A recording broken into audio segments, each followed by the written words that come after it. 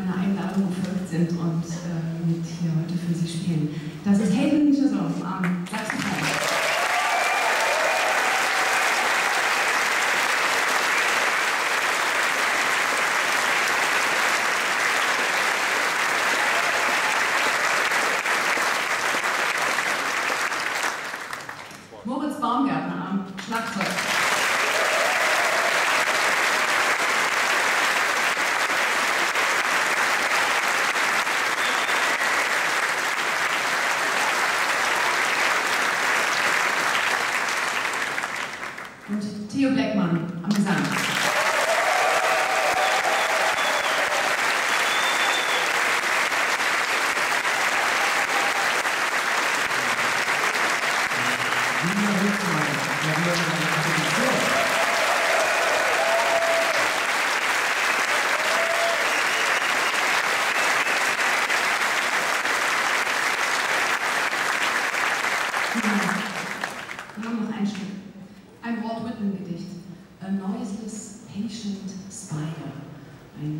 Spinner steht oben auf einer Anhöhe und guckt herunter in diese weite, in die weite Welt und ähm, spinnt ihre Fäden. Und das ist ein Bild dafür, wie man irgendwie alleine ist als Mensch, der aber eben auch seine Fäden sein Leben lang spinnt.